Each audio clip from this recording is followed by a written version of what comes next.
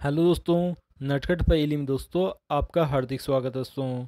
दोस्तों, आज की पहेली दोस्तों, हमने देखा अजब एक बंदा सूरज के सामने रहता ठंडा, धूप में धूप में जरा नहीं घबराता, सूरज की तरफ़ मुँह लटक जाता। पहेली वापस रिपीट कर रहा हूँ दोस्तों, हमने देखा अजब एक बंदा सूरज के सामने रहता ठंडा, धूप में जरा नहीं घबराता, सूरज की तरफ़ मुँह लटक जाता। तो पहली का आंसर देना दोस्तों your time start now one two three four five तो दोस्तों आंसर दे दिया दोस्तों दोस्तों, पहली का आंसर दोस्तों सूरजमुखी। सूरजमुखी का फूल होता है दोस्तों, उसके लिए ये पहली कही गई है दोस्तों।